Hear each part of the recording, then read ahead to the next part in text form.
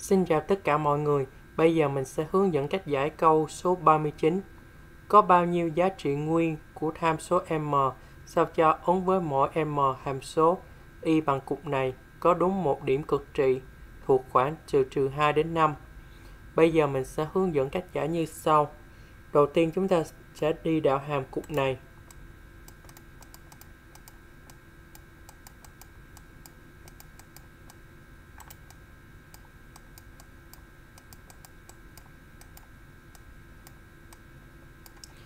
Sau đó chúng ta cho y phẩy bằng 0. Thì có nghĩa cục này sẽ bằng 0.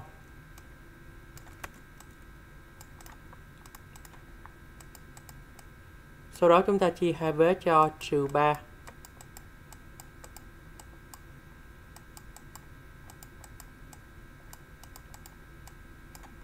Chúng ta đẩy m sang bên đây.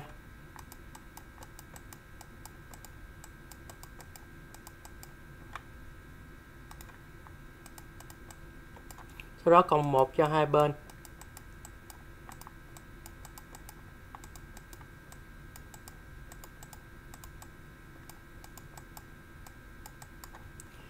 Chúng ta biết đây là hàng đẳng thức đáng nhớ.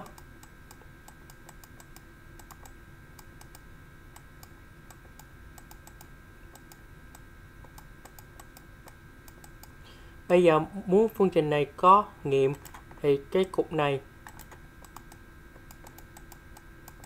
phải lớn hơn hoặc bằng 0. Như vậy m nhỏ hơn hoặc bằng 1. Chúng ta sẽ xét trường hợp trường hợp thứ nhất. Khi m bằng 1, chúng ta thế 1 vào đây.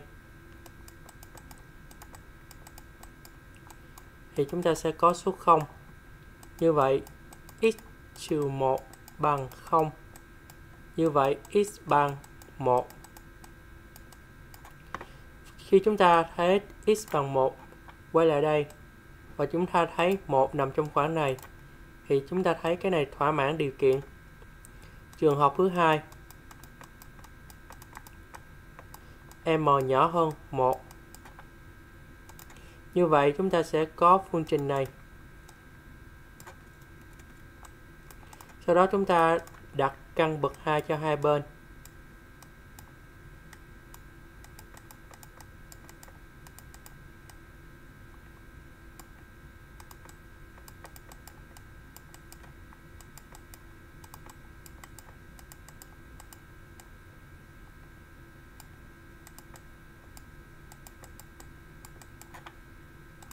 Sau đó chúng ta đẩy trừ 1 sang bên đây.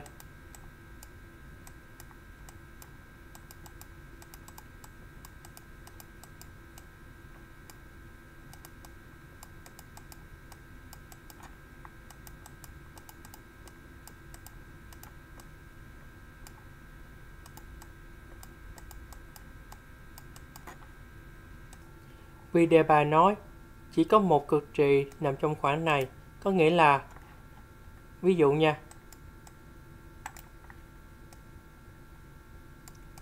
Đây là khoảng trừ 2 đến 5 khi đó khi đó sẽ có một cục trị cục trị này.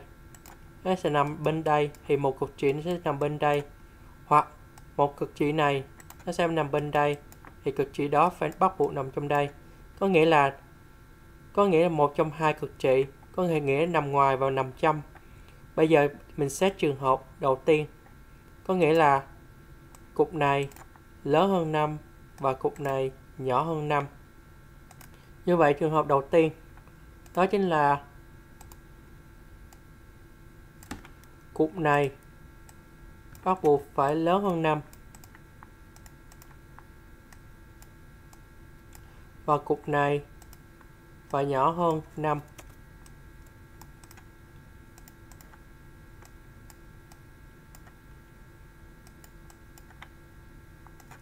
như vậy chúng ta sẽ có là một để sang bên đây, một để sang bên đây.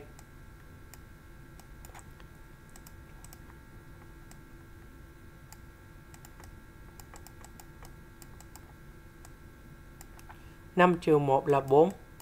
Thì cục này sẽ là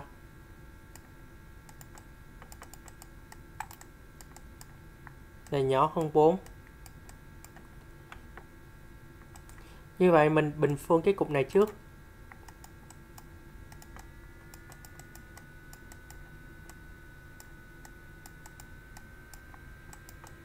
Như vậy chúng ta có trừ m lớn hơn 15 đảo chiều lại, m nhỏ hơn trừ 15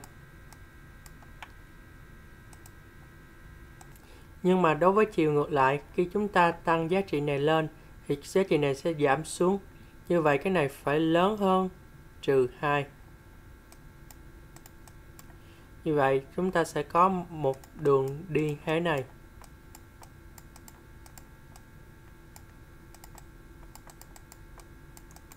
Bây giờ bạn đẩy cái này qua bên đây.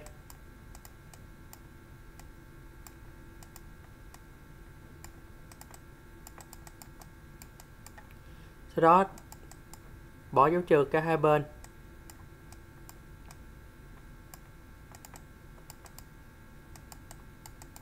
Bình phương lên.